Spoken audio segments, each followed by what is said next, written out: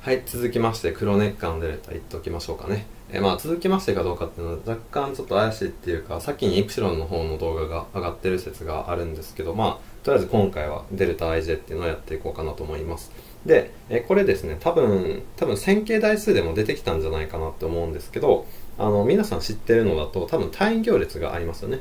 単位行列でえこう E イコール例えばえ1001みたいなのがあった時にこれの ij 成分を表すために E の E って行列の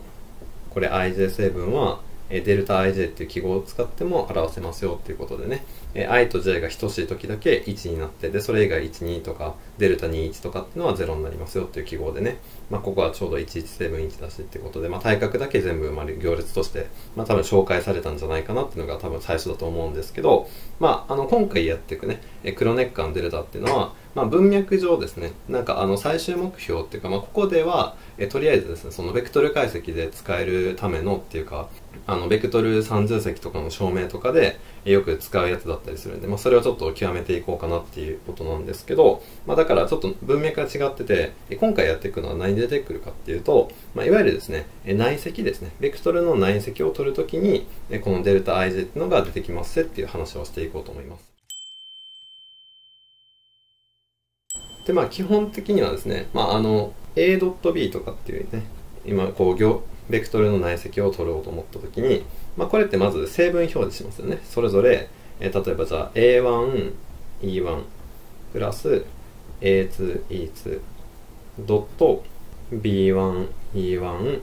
プラス B2E2 みたいな感じで。こんな風にやりましたよね。でこれの結果っていうのを、えー、皆さんご存知の通りですね。えー、多分 A1B1 プラス、えー、A2B2 ということで X 成分同士 Y 成分同士それぞれ掛け算して足し算したものになりますよみたいなふうに習ったかと思うんですけどえここにですねどういうふうにしてそのデルタ IJ あの黒熱感デルタの概念入ってくる余地があるかっていうと、まあ、要はですねこれ本当はこれ2つだけじゃなくってもっとたくさん出てきてるんですねこれ分配法則があるわけなんであの A1 とこれかかってる子って本当はですねこういうのもあるはずなんですよ。こっちから、まあ、こういくだけじゃなくて分配法則でこっちにもかかってるはずなんですね。つまりこれ全部書き出してあげるとですね A1B1 の E1.E1 プラス A1B2 の E1.E2 プラスみたいな感じでなってて A2B2 の E2.E2 ということでね。まあここまで来てあなるほどねっていうふうになるわけでなんちゅうかなそのデルタ ij っていうのは ij が等しい時に1になって ij が違う時に0になるっていうことだからちょうどですね内積の時と同じことができるんですね。でまああの考えてるのが直行規定っていうことでまあ普通のあのデカルトデ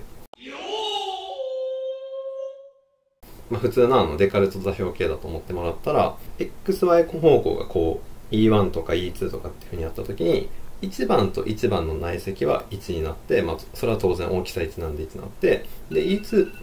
そうするとですねこれ E1 と E1 の内積っていうのは、え1にそ、まあ、なってで E2 と E2 の内積1になるんだけど、え違うやつでね E1 と E2 の内積、まあ、順番変えても一緒でっていうのをやろうとするとこれ直行してるんでねまあ、内積が0になるわけじゃないですか。で、それを表してくれるのが、これデルタ ij でもいいよねっていう話になるわけですね。ってことで、まあ、ここでの定義としては、まあ、むしろこっちの方が多分出どころとしては、なんか、あの、自然なんじゃないかなって感じはするんですけど、まあ、とりあえず、今、デルタ ij っていうのを ei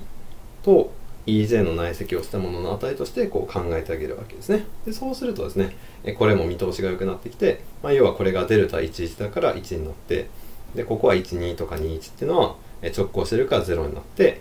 でここ1になるから結局残るのはこの A1B1 と A2B2 だけになりますよねということでね。でまあこういうふうにしてねあのそもそもこれ0なのにねあの公式としてだったら X 成分同士とか Y 成分同士こうやって掛け算して足しますよっていうふうにあの決めた方が分かりやすいかと思うんだけどあえてですねこの何ちゅうかな A2B1 とか0になる項っていうのもえ、残した形でデルタ ij を使って書いてあげることで、まあ、なんていうかこの縮約を使った形で綺麗に表示できるよということで、まあ、え、どういうふうになるかっていうと要はですねこの形で見ると分かりやすいんですけど今こうやってあの全部展開した形で書いたんでね無駄なように見えましたけどこういう計算が出てくるわけですね。AI ei ドット今これカッコの中入ってて全部これ和になってるんですけどで次 bj まあ添え字揃えちゃうとわけわかんなくなっちゃうんで変えますけどでこっちも j イコール1から2で動いててまあカッコの中足し算になってこれ内積取ってるんですけどまあそうするとですねこれの ij 成分が例えばこう12とかっていうふうにこうかかったやつ取り出してあげるとねまあ今 ai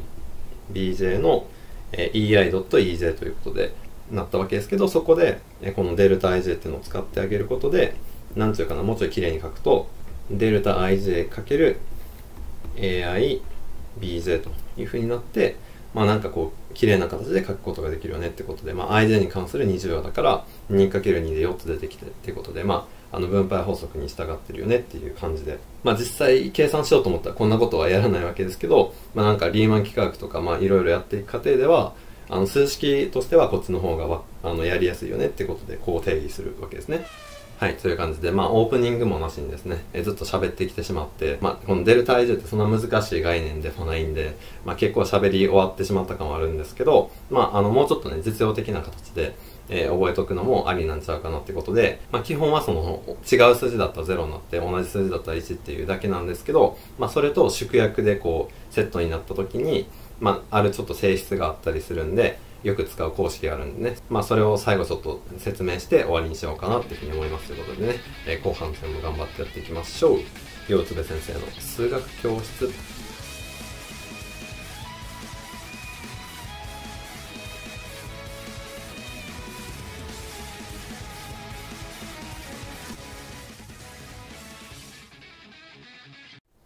はい、ということで、ここから実践編ということでね、デルタ IJ の性質を見ていこうかなっていうふうに思うんですけど、まあ、あの、さっき説明したデルタ IJ っていう下付き添え字2つのやつっていうのは、まあ、なかなかちょっと使い勝手が悪いっていうか、え、ベクトルとこう積を取った時にですね、まあ、なんか添え字が下に移動したりとかっていうなんか考えなきゃいけなくなったりするんで、まあ、今回はちょっとすいません、あの、さっきちょっと紹介でミスったんですけど、普通のこのデルタ IJ じゃなくって、え、ei 下付き添え字と、え、EJ 上付き添え字の、え、これのセットで積取った時の出てくる、まあ、デルタ IJ でやっていこうと思います。まあ別にですね、速攻座標系だったら、あの上下そんな関係ないっていうか、こっちが自然規定で、こっち相対規定って言って、まあ、セットになってる規定があるんですけど、まあ、それがどっちも同じ方向向いてるやつなんで、まあ、だからこれでやっていこうかなっていうふうに思います。で、そうした時にですね、まあ、この3つの性質を示したいんですけど、まず1個目ですね。これ多分簡単っていうかね、だと思うんですけど、これはですね、今これ J は、あの、そうじついてるんですけど、これは全然動いてなくって、まあ、これ I だけに関して縮約を取っている状況なんですね。つまり、例えばですね、A1 デルタ 1J プラス A2 デルタ 2J みたいな、こんな感じになってるんですね。で、え、まあ、この時にですね、今 J っていうのは1か2のどっちかの値取ってるんで、まあ、例えばですけど、まあ、これを2とかっていうふうに今勝手に決めてあげるんだったら、ここも全部2になりますよね。で、そうするとですね、えー、さっき言った性質が使えて、要はデルタ ij の ij っていう部分が同じだったらこれ1になって、違かったら直行してるから0っていう性質があったんですけど、それ使うと、この部分が消えてくれて、で、ここだけ残るわけですね。これ1になって。ってことで出てくるのは A2 というふうになるわけなんで、まあ、デルタ ij とこれ、縮約を取ってあげると、ここの添え字がですね、この2つの添え字消えて、ここに入ってくるっていう性質があるわけですね。で、これがですね、まず1個目の性質としてありますっていうか、まあこれで全てっちゃ全てなんですけど、で、じゃあ次、レベル2ですね。心の準備をしないと。レベル2はどうなってるかっていうと、今度はですね、20はですね、この ij がですね、どっちも上下でこれセットになってるんで、え ij に関する20はということで、え1、2でどっちも動くから 2×2 で4つの和になってるわけですね。で、これちょっとなんか難しそうだなっていうふうに思うんですけど、だけどですね、えー、ちゃんと、あの、基本に立ち返ってやれば大丈夫でですね、こんなふうに書き下すことできますよね。えー、j イコール1から2番までの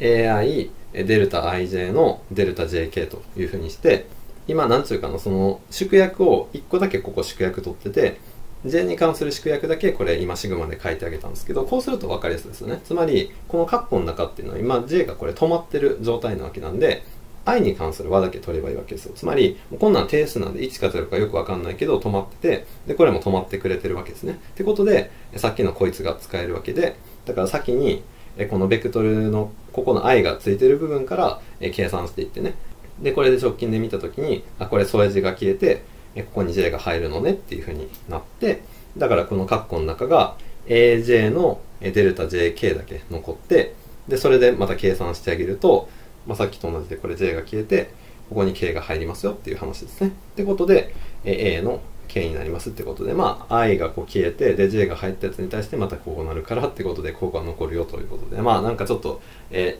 ー、若干何やってるかどうか分かりにくい話ですけど、まあ、そういう性質がありますよってことでね。まあ、それがレベル2でしたよと。で、レベル3はですね、あの、今回やっていくやつの、そのベクトル30積の証明のところでも、もろがっつり出てくるやつなんですけど、まあ、これがですね、割と一番大事なやつなのかなっていうところでね、やっていくんですけど、ここで使えるのが、今さっきのレベル2の話ですね。レベル2のところで、IJ に関する20話を取ったんだけど、一旦 J のこと忘れてもらって、ここはストップして考えましょうということで、まあ、シグマの中入れたりとかしたわけですよね。で、この時に、じゃあ I に関して、まずこの一番近いとこから、これ縮約取って、デルタ IJ の性質を使いましょうってやったわけですけど、それと全く同じことをやっていけばいいよっていうふうになるわけですね。まあ、これは別に、あの、ベクトルとの積だけじゃなくて、まあ、テンソル間、まあ、なんか行列かわかんないですけど、え数字が2つくっついてるタイプの、例えば、まあ、A ミューニューとか、えそんなんがあって、で、それとデルタニューラムダとかなっても、まあ、ここ消えてここに入ってくるっていうのは、まあ、全部書き出していけばわかるわけなんですけど、まあ、それでも使えるやつでですね。まあ、だから、今こいつとこいつらの積っていうふうに考えてあげると、まあじゃあ今こいつでこう考えていこうかなって思ったら、えー、L とか M とか J とかもこれ一応積になってねこれ30話40話かななってるんですけどまあ今とりあえず他の文字では、えー、ちょっと時を止めてもらってで考えていくと、まあ、これ I のところに L が入るから、まあ、AL になるんだろうなっていうのが分かるしでまあ次これここやっていこうかって話になってでどこ止めるかっていうとまあ他のやつとりあえずね今無視してもらってここが入りそうだなっていうことでこれ消してで M が入りますよということで最終的にはですね AL の BM の CL の EM ということで、まあ、これでですね、まあ、全部の掃除の更新が終わってで最後残ったのが ALCL の BMEM ということで、まあ、ここは M 番目の規定でそれにくっついてる成分になってて、まあ、L 番目と L 番目同士の、まあ、積を取ってこれ全部足し算してるわけだからこれは AC の内積になるんだろうなってことで、まあ、最終的にですね、まあ、A.C の B が出てくるよってことで、まあ、いわゆるそのベクトル30積の公式の時にえこいつのベクトルがあってで残りの内積ってことで A.C マイナス